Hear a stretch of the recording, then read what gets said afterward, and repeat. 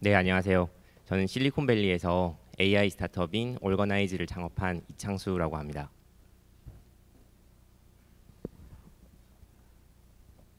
네, 그러면 시작하기 전에 잠깐만 좀 여쭤보고 시작을 하고 싶은데 여기 오늘 오신 분 중에서 해외에 창업이든 취업이든 뭔가 해외에 나가서 일을 해보고 싶은 생각이 있다라고 하시는 분 손을 한번 들어보시겠어요? 어, 네, 한 절반 정도는 되시는 것 같고요.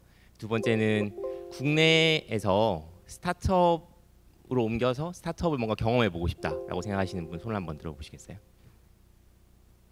네, 두 번째가 훨씬 좀 적으신 것 같아요. 그러면 이거 2004년 1월의 사진이고요. 그 제가 한국에서 군대생이었고 전산학을 전공했고 학교를 졸업하고 이제 다른 뭐 여느 사람들과 비슷하게 네, 이제 큰 회사에 취직을 해서 이거 신입사원 연수 받을 때 사진이거든요. 이제 2004년 1월만 해도 사실 제가 지금 2019년이니까 15년 뒤에 뭐 미국에서 일을 하고 있을지 창업을 할지 그것도 심지어 두 번째나 창업을 할지 이런 거는 전혀 생각이 1도 없었고 그래서 뭐 다른 누구들처럼 10년 마스터 플랜을 가지고 사는 이제 그런 스타일의 사람은 전혀 아니었고요. 이제 그런데 예, 2014년 8월에 이제 제가 창업했던 파이브락스라는 회사가 이제 미국의 탭조이에 이제 인수가 되었습니다. 그래서 이제 인수가 돼서 미국에 건너가게 됐고요. 그 이 사진은 인수가 되고 난 다음에 2014년 8월에 인수가 됐는데 2014년 9월에 이제 미국 회사들은 offsite라는 걸 하거든요. 그 offsite가 뭐냐면 미국 회사들이 이렇게 여러 군데 오피스가 떨어져 있는 경우가 많아요. 그래서 탭조이 같은 경우도 원래 보스톤에 이제 엔지니어링 오피스가 있었고 본사는 샌프란시스코였고 아틀란타에도 또 오피스가 있었고 그러는데 서울에 있는 오피스를 또 산 거예요. 엔지니어들이 많은 회사를. 그래서 야 너네들끼리 이제 또 친해야지 일을 잘하고 또 같은 통합 제품을 만들어야 되니 이제 offsite를 하자라고 해서 갔던 게 이제 이때 사진이고요. 보시면 다른 일반 실리콘밸리 회사보다는 백인이 좀 많습니다. 보통 실리콘밸리 회사는 이렇게 인도계를 중심으로 는 아시안이 훨씬 많은데 여기 이제 보스턴에 오피스가 있어서 그렇고요. 그래서 이제 15년을 쭉 돌이켜 봤더니 네, 한국에서 창업했던 회사가 이제 파이브락스였고 이제 파이브락스를 네, 일본에서 창업을 했고요. 그리고 이제 이 회사가 인수가 돼서 네, 미국의 탭조이 이제 취업한 형태가 됐습니다. 이제 그러고 어, 탭조이를 나와서 실리콘밸리 창업한 회사가 AI인 올거나이즈이고 이 올거나이즈인 회사는 지금 한국과 일본을 다시 창업을 해서 네, 세 군데에서 운영을 하고 있습니다. 그리고 이력서를 내서 제가 취업을 했던 회사를 보니 네, 한국에서는 SK텔레콤이 있었고 일본에서는 게임온이 있었어요. 그래서 총 15년 동안에 직장인으로 취업을 해서 살았던 건 한 6년 반, 네 그리고 창업을 해서 살았던 기간이 한 9년 반 정도 되고 이 지금 애니메이션이 약간 제가 의도한 대로 되지 않았는데 이제 가족적인 일을 보면 제가 첫째는 네 일본에 있을 때 임신을 해서 나왔고요. 둘째는 제가 한국에 돌아와서 한국에서 나왔습니다. 그 막내는 미국에 있을 때 이제 미국에서 나왔는데요. 그래서 한국, 일본, 미국에서 창업 환경, 취업 환경, 뭐 직장 생활, 뭐 투자 받는 것들에 대해서도 많은 말씀 드릴 수 있고 이제 오늘 그 말씀을 주로 드릴 건데 이제 개인적으로는 한국, 일본, 미국에서 뭐 예를 들면 산부인과에 초음파는 어느 나라는 몇 달에 한 번씩 찍는다. 네.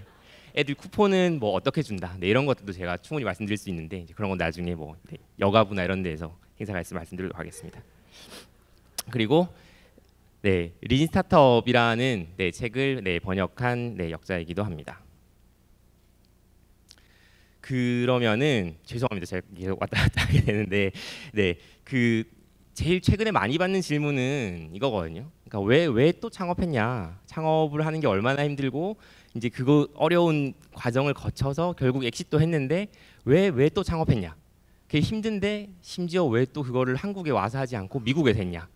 네, 라는 얘기를 가지고 이제 오늘 제가 말씀드릴 주제인 어디서 살면서 무슨 일을 할 것인가에 대해서 말씀을 드리도록 하겠습니다.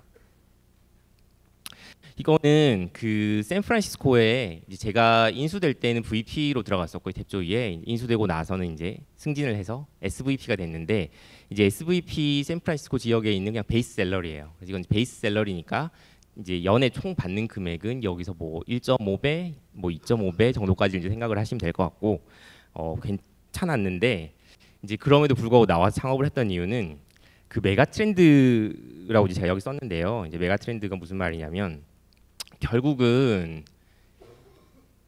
네 무슨 일을 할 거냐에 대해서 이제 사실 제일 많이 생각하시는 거는 저기 위에 있는 두 개거든요. 내가 잘하는 일, 내가 좋아하는 일.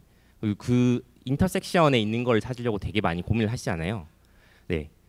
그런데 창업을 생각을 하시게 되면 아니면 뭐 내가 스타트업으로 가거나 이제 다른 이직을 하는 거가 창업의 어떤 징검다리라고 생각을 하시면 사실 제일 중요한 거는 위에 것도 물론 있지만 밑에 거거든요. 저게 잘못 읽으시면 안 돼요. 사장이 원함이 아니에요. 저게 시장이 원함입니다.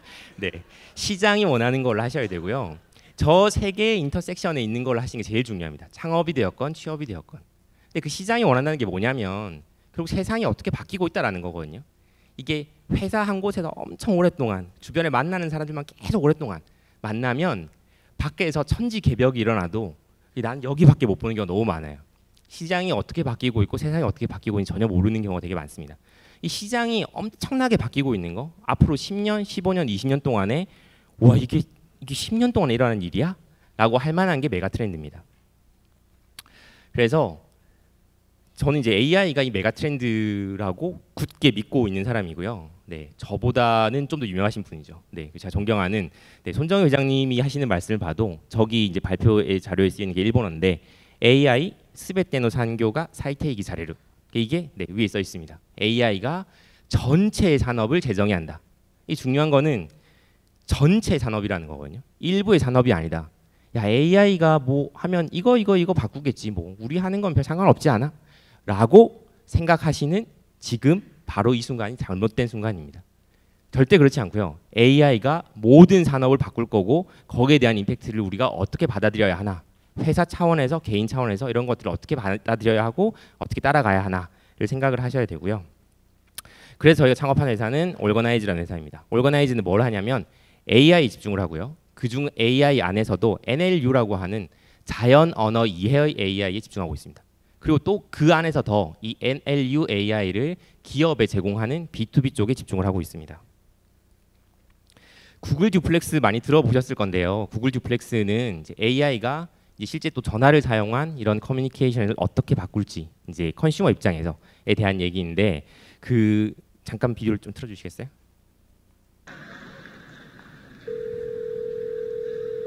듀플렉스 처음 보시는 분 혹시 손 한번 들어보시겠어요? Hi, I'm calling to book a women's haircut for a client. Um, I'm looking for something on May 3rd. Sure, give me one second. Mm-hmm. Sure, what time are you looking for around? At 12 p.m. We do not have a 12 p.m. available. The closest we have to that is a 1.15. Do you have anything between 10 a.m. and uh, 12 p.m.? Depending on what service she would like. What service is she looking for? Just a woman's haircut for now. Okay, we have a 10 o'clock. 10 a.m. is fine. Okay, what's her first 네, name? 이거 보시면은 이 왼쪽에 말하는 게 이제 AI고요. 이게 이제 지금 미국에서는 이제 뭐 전체적으로 이미 at 10 테스트가 시작했고 3rd. 그 픽셀폰을 가진 사용자는 자기가. 구글 어시스턴트한테 뭐 언제 어떤 레스토랑 헤어 살롱을 예약해줘라고 하면 네 전화를 해서 네, 이렇게 예약을 해주는 겁니다. 이거 생각해 보시면 이거는 컨슈머 개인을 대신 해주는 거잖아요. 근데 이거를 발표하면서 이제 구글의 CEO인 순다 피차이가 얘기한 게 뭐냐면 미국에 아직도 60%의 small business는 예약 시스템이 없다. 그렇기 때문에 이런 걸 한다라고 하거든요. 근데 그러면 B2B의 비즈니스 입장에 생각해 보면 비즈니스에서 이런 네, 듀플렉스가 없을 이유가 없습니다. 그러니까 지금은 우리가 뭐 예를 들면 보험사에 전화해서 무슨 사고 났어요. 뭐 이 플랜 바꿔주세요. 이런 거 전화해서 한참 기다려야 되잖아요. 네. 근데 이 같은 기술이 사실 비즈니스 속에 적용되면 이런 걸 기다릴 필요가 없이 비즈니스에서 AI가 전화를 받아서 이런 걸 다 처리해 줄 수가 있죠. 이제 그래서 올거나이즈가 하고 있는 그 데모를 보여드리겠습니다. 죄송 다음 넘어갈 때.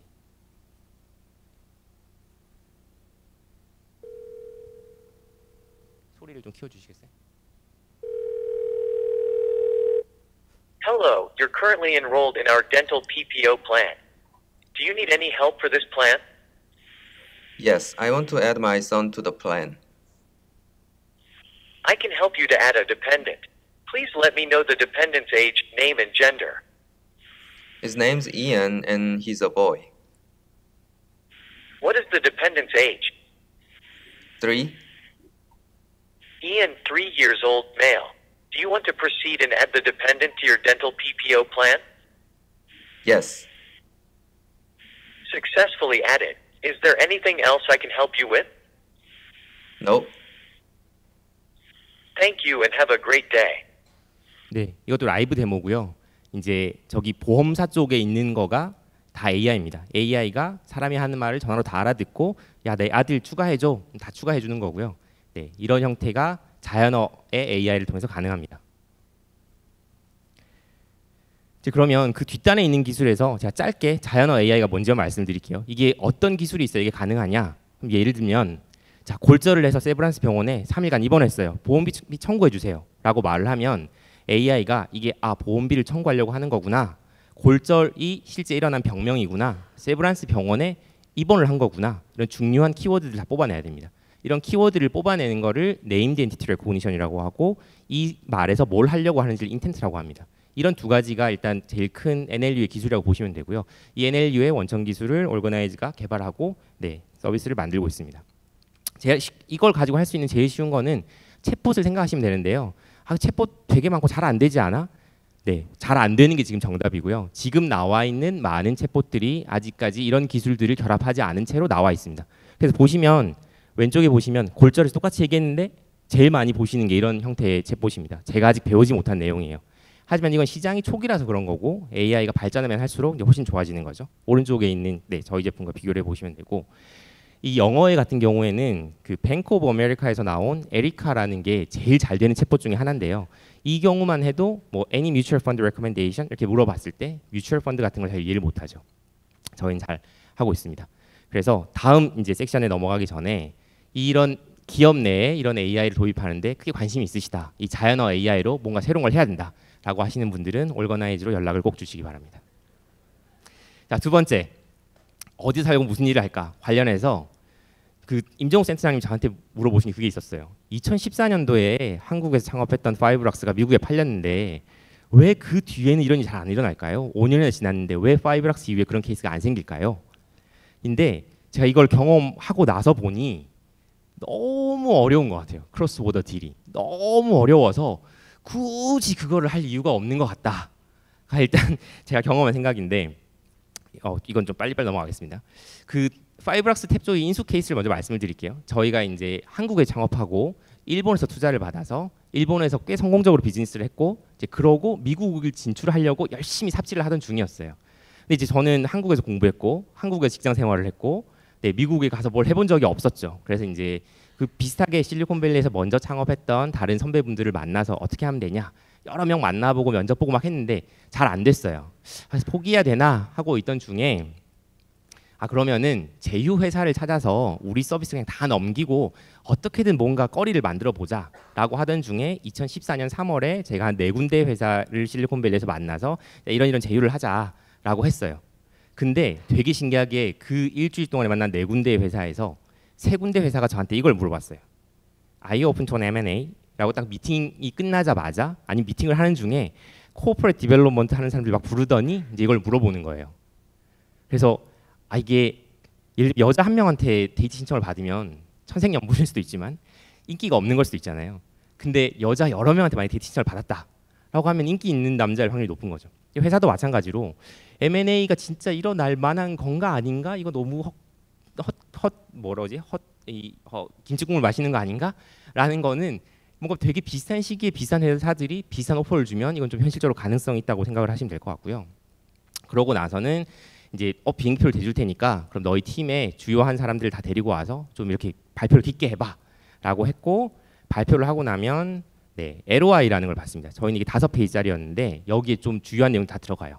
자 그러면 이 딜은 전체 스탁으로만 한다 아니면 스탁과 캐시를 섞는다 이 전체 얼마 정도의 가격으로 잡는다 이거 하고 나면 뭐 락업은 몇 년이 걸린다 뭐 이런 것들 일단 여기 들어가고요. 이게 받은 입장에서는 오 이거 받으면 이제 거의 다 된 건가 막 다섯 장짜리에 막 써 있으니까 라고 생각이 들지만 지나고 나서 보면 천만의 말씀이고 이건 진짜 이제 시작에 불과한 거고요. 그러고 나서 저기 니고시에이션의 점이 세 개가 아니라 한 300개쯤 있다고 보시면 됩니다. 엄청나게 계속 negotiation을 합니다. 제일 어려운 건 뭐냐면 저희가 한국 회사인데 일본에서 투자를 받아서 미국 회사가 사니까 그 미국 회사는 뭐 관련해서 세금 이슈가 생기면 한국에도 보고를 해야 되고 미국에도 보고를 해야 돼요. 저희 투자자는 한국에도 보고를 해야 되고 일본에도 보고를 해야 돼요. 근데 잘 몰라요. 일본 회사는 한국에 세금 이슈 뭐가 있을 수 있지? 미국 회사는 또 한국 세금 이슈 뭐가 있을 수 있지? 이게 딜이 사인이 끝나고 나면 땅땅땅 너네 세금 이슈 이거니까 땅 해결해. 절대 그렇게 안 되고요. 한 5년의 기간 동안에 국세청이 언제 와서 무슨 이슈를 끄집어낼지 모르는데 무슨 이슈를 끄집어낼지 모르는 그 이슈에 대해서 너가 책임을 어떻게 질 건지를 적어. 라고 돼 있는 거기 때문에 엄청 힘듭니다. 이거를 계속 반복하고 나면 마지막에는 네, 저희 케이스는 한 영어로 150장짜리의 계약서가 나왔고요. 그 150장짜리 계약서에 사인을 하고 나서 네, 이제 딜이 완료가 됐습니다. 여기까지 제일 처음 만난 거는 3월이었고 이제 발표한 건 8월이었습니다. 근데 이게 주변의 다른 선배님들의 얘기를 들어보면 엄청나게 빠른 거다. 뭐 1년 반, 2년이 걸리는 경우 되게 많다 라고 하시고요. 언어, 문화, 세금, 법률 뭐 하나도 쉬운 이슈가 없어요. 제 경우만 말씀을 드려봐도 이제 이 deal을 처음 하면서 저는 reps and warranty가 무슨 말인지 처음 배웠어요. reps and warranty가 뭐냐면 아까 말씀드렸던 야 5년 안에 뭐 무슨 무슨 일이 생길 가능성 있을 것 같은 조그만 거 하나라도 다 적어 진술 and 보장이거든요. 스케줄도 무슨 말인지 처음 알았어요. 뭐 뒤에 이제 계약서 뒤에 별첨으로 는 A, B, C, D 이제 이런 거 스케줄이라고 하는데 자꾸 스케줄 알려달라 그래서 나 언제까지 해줄게. 아 스케줄이 그게 아닌 다른 거구나. 언어 차이도 이렇게 크고 어, 영어를 엄청나게 잘하시는 분들도 또 이런 케이스를 처음 겪으면은 네, 잘 모르실 것 같다는 생각이 들고요. 마지막 이제 인연에 대해서 말씀을 드리겠습니다. 자, 몇 번 이제 말씀을 드리긴 했었는데 여기 이분이 네, 한국에서 상당히 유명하신 분이죠. 노정석 대표님이시고 저랑 공동 창업을 했습니다. 근데 노정석 대표님이랑 공동 창업을 하게 된 것도 상당히 우연이었어요. 일본에서 일을 하고 있을 한국에서 저희 형이 이제 결혼을 해서 우연히 들어왔는데 그때 어떻게 우연히 약속이 잡혀서 만나서 어 이런 이런 사업을 할 건데 같이 하자라고 해서 같이 하게 됐고 두 번째는 글로벌 브레인의 유리모토 대표님이신데 유리모토 대표님 사실 만나서 투자를 받았기 때문에 이게 지금까지 일이 쭉 있을 수 있었던 거였거든요. 그러니까 전혀 계획되지 않았던 거였는데 어떻게 만났냐? 이런 행사였어요. 이런 이제 스타트업 행사였고 제가 연사로 나가기로 돼 있었고 이제 그때 이 방 뒤에 이제 스피커 룸에서 이렇게 막, 막 메일을 쓰고 있는데 다들 젊은 한국 사람인데 나이든 일본 분이 한 명 딱 있는 거예요.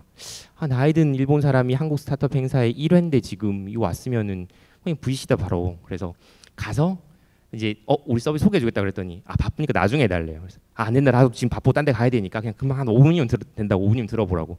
그래서 바로 피치하고 다음 날 바로 후속 미팅하고 네 그러고 나서 한 달 뒤에 바로 투자를 받았습니다. 근데 지금 이분이 별로 안 유명한 분인데요. 이분은 네, 지금 자기 얘기하고 있는지 모를 텐데 글로벌 브레인에 있던 스즈키 상이라는 분이고요. 지금 미쯔비시 UFJ 그룹의 예, 이제 그 자회사의 대표로 가셨어요. 근데 제가 이분 얘기를 왜 하냐면 인연 얘기를 하면서 이게 아까 세금 이슈를 엄청 말씀드렸는데 이게 이제 다 잘 되고 나서 이제 제가 탭조이 아예 미국에 건너가서 이제 있던 시절쯤에 막 갑자기 메일이 왔어요. 이제 일본에서 그러니까 일본 VC가 이제 한국 회사를 투자를 했는데 그 회사가 미국에 팔렸잖아요. 그 이제 그러면은 한국, 일본 뭐 이렇게 양쪽에 다 신고를 해야 되는데 그 중에 서류 하나가 뭔가 빠졌었나 봐요. 이게 빠졌는데 그게 빠졌기 때문에 그러면 기한을 지나서 내야 되는 세금의 양이 뭔가 엄청난 거죠. 근데 그게 또 계약서상 원칙적으로는 뭐 미국에서 내야 되고 뭐 일본에서 내야 되고 많은 복잡한 케이스가 있었어요.